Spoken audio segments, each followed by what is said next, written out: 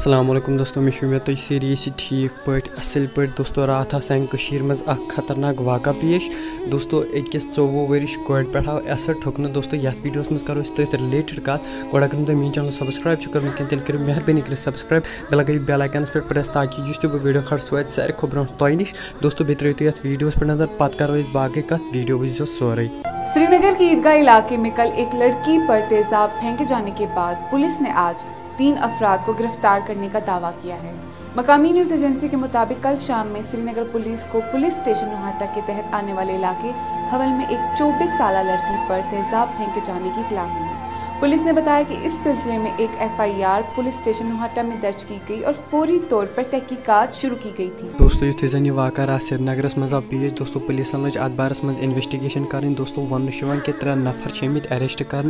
दोस्तों, यह जन फ़ोटो स्क्रीन पे दोस्तों, वन कि यमो मज लड़क तमिस लड़की कर एंगेजमेंट प्रपोजल तम लड़की उस अक दो लट कोर्मुत यह रिजेक्ट अवे ठुक अम लड़कन तमिस लड़की पे असर। दोस्तों अत बारस मज गई आज प्रोटेस्ट ये श्रीनगर मज जमिस मज दोस्तों यमो जन वोनमुत यमन त्रेन लड़कन ग फैज दिन बाको दोस्तों तुज क्या राय बारे में सोचो तुम कमेंट सेक्शनस वीडियो वीडियोस गई गो दी इजाज़त अल्लाह हाफिज़